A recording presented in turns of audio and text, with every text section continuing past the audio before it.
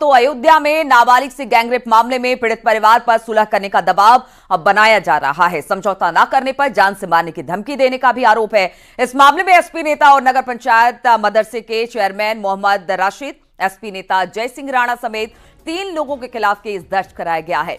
कोतवाली नगर में बीजेपी नेता राम सेवक दास ने मुकदमा दर्ज कराया है। जिला महिला अस्पताल में जाकर पीड़ित परिवार पर समझौते का दबाव बनाया गया है। तो बड़ी खबर हम आपको बता रहे इस पूरे मामले में सीएम योगी भी सख्त है और अब इस पूरे मामले में एक बड़ा, बड़ी खबर निकलकर सामने आ रही है। समझौता ना करने पर जान से मारने की धमकी देने का आरोप भी लगा है। सुलह करने का दबाव पीड़ित पक्ष से को लेकर बनाया जा रहा है।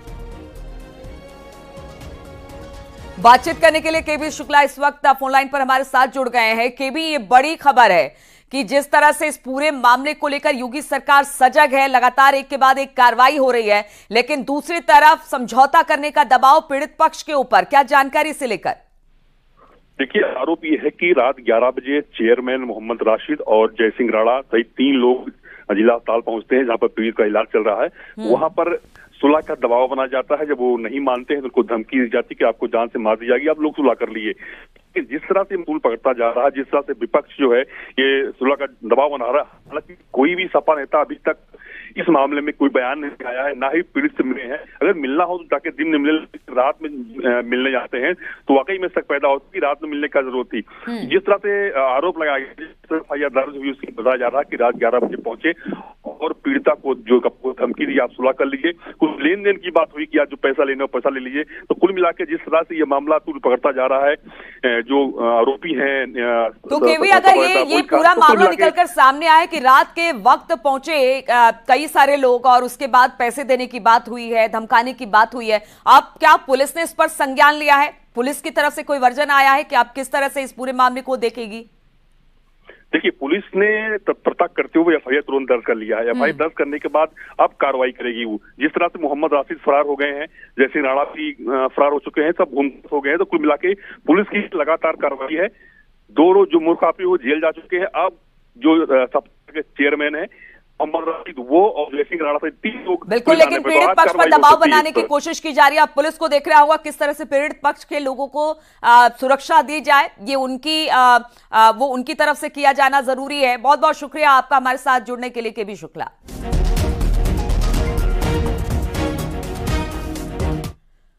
और अयोध्या गैंगरेप मामले में आरोपी मोहित पर बुलडोजर एक्शन की तैयारी शुरू हो चुकी है। प्रशासन की टीम अयोध्या में आरोपी मोहित के घर की ज़मीन की नापजोक इस पर कर गई है। सरकारी ज़मीन पर एक इंच भी अवैध कब्जा मिलने पर बुलडोजर की कार्रवाई की जाएगी। इससे पहले कल पीड़ित परिवार मुख्यमंत्री योगी से मिला और आरोपी के खिलाफ बुलडोजर कार्रवाई की मांग की, जिसके बाद सोहावल तहसील से राजस्व की टीम मौके पर पहुँची और आरोपी एसपी नेता मोहित खान की ज़मीन की पैमाइश अब शुरू कर दी गई है। अगर थोड़ा भी यहाँ पर कुछ इंक्रोचमेंट पाया जाता है तो फिर बुलडोजर की कार्रवाई मोहित के घर, मकान पर की जाएगी।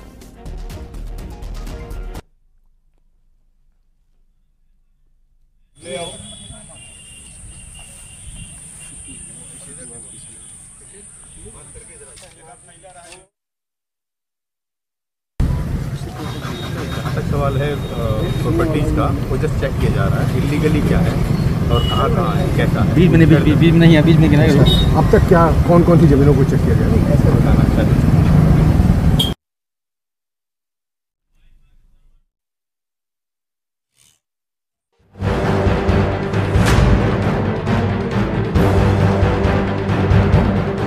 तस्वीर अयोध्या में हुए अधर्म और 12 साल की मासूम से हुए कुकर्म में सख्त एक्शन की ओर इशारा कर रहा है।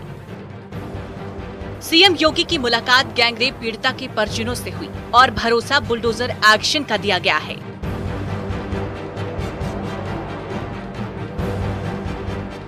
कल जो मुद्दा विधानसभा में उठा, अब उसमें एक्शन की तैयारी शुरू हो चुकी है, क्योंकि सीएम योगी खुद बोल चुके हैं, इस मसले को हल्के में नहीं लिया जा सकता। आपका एक्टिव मेंबर है।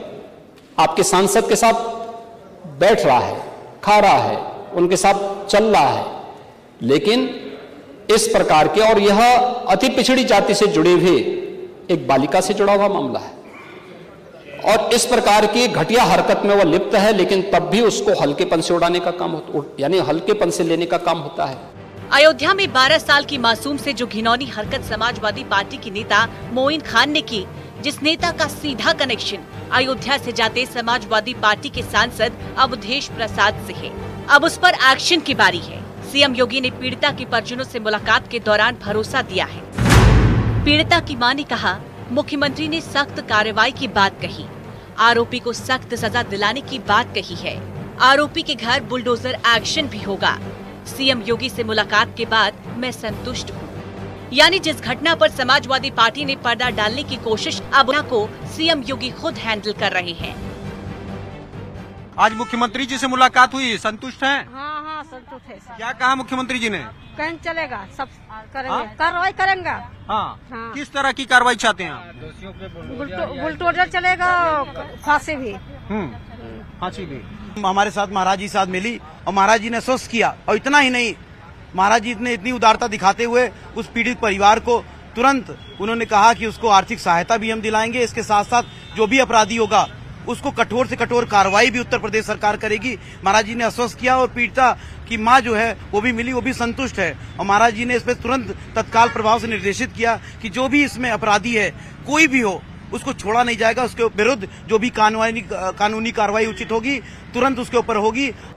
हर तरफ़ बात एक्शन की हो रही है। तो दूसरी तरफ़ अयोध्या के सपा सांसद अवधेश प्रसाद खुद घर में ही घिर चुके हैं। क्योंकि समाजवादी पार्टी के विधायक अभय सिंह ने अपनी ही पार्टी पर सवाल खड़े करते हुए कहा, क्या यही पीडीए है? आज पीडीए का कोई भी व्यक्ति इस लड़की के साथ नहीं है। वहाँ वार्ता हुई। बारह साल, चौदह साल की माइनर गर्ल है। और जिस तरीके से हैवानों ने हैवानियत की है, दरिंदगी की है, इसके खिलाफ सख्त कार्रवाई हो रही है। हमारी कल माननीय मुख्यमंत्री चर्चा, मुख्यमंत्री जी ने सदन में कहा, इनके खिलाफ सख्त कार्रवाई की जाएगी, सख्त से सख्त कार्रवाई की जाएगी। और पिछड़ी जात की महिला है निषाद समाज की लड़की है, बेटी है, वहाँ खेतों में काम करने जाती थी बहला फुसला के जो किया गया, हम चाहते हैं आप लोग सहयोग करें, पूरा समाज सहयोग करे, और दरिंदों को कड़ी से कड़ी सजा मिले। यानी जिस अयोध्या में जीत पर समाजवादी पार्टी के साथ खुद अखिलेश यादव अपनी पीठ थपथपा रही थी।